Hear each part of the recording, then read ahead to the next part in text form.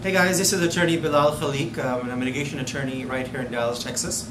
And so today we're going to talk about uh, getting a green card or a permanent residency in the United States through marriage. Now, I joke with people that getting married and getting a green card is probably the easiest way to get a green card if the marriage is genuine. And it could be the most difficult way to get a green card if it is not. Okay? Um, the law says that when you marry a U.S. citizen or that you marry a permanent resident, all marriages are for fraudulent purposes, just to get papers, and the burden is on you, the applicant, and the person getting the benefit. So what is the burden? The burden is that the U.S. government looks at the marriage that give us reasons to see why this is a genuine marriage. They look at your race, religion, age. They look at the culture. They look at how many times you've been married. They look at you know your lifestyles, um, your future plans to get an idea whether it's a genuine marriage or not. Uh, the more the age difference is, the more the difference in culture, religion. Let's say you've been married once and you know she's been married three times and she has a criminal history and you don't. All this kind of adds up to the doubts that the officer is going to have. So if you're going to get married, make sure that it's genuine. Make sure that you mix your assets. That means that you have joint bank accounts, uh, bills, insurance, uh, life insurance, uh, car registration. That also should all have everybody's name on it.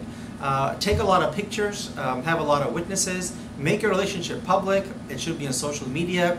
It shouldn't be a hidden secret that you're married. And as long as you can, you know, satisfy these requirements, you can go ahead and file the petition. Now, if you entered this country legally, you can get your green card here. You can file the petition. In three months, you'll get a work permit and a travel permit.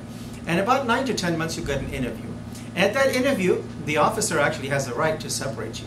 So he can put the man separately and the woman separately, ask questions, and then compare. And some of those questions are quite tough. You know, it's, it, it's interesting that even after being married 20 years, some people can't guess the, the color of the toothbrush that their spouse uses, right? But they can ask you these questions just to make sure that you guys live together. So as long as you pass those questions, then very simple. They approve your application, and you get your green card. If you don't pass these questions, they give you one opportunity. So once upon a time, what happened is I went to an interview, and this uh, gentleman actually married a U.S. citizen, and the gentleman was from Eastern Europe. Now it's really interesting. They all got separated. Uh, the officer asked the girl, "How many rooms in your house?" And she says, "I've got one bedroom." And the officer asked the gentleman, says, "How many rooms in your house?" And he said, "I've got two bedrooms." And I was like, "Okay, I, have caught them. You know, they don't live together."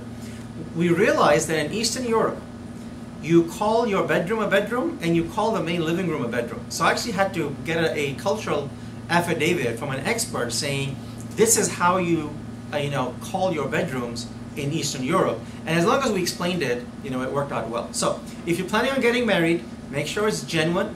Uh, feel free to give us a call. We can help you, guide you, prepare you for the interview, and make sure that we minimize the risk that the immigration officer will doubt your intentions.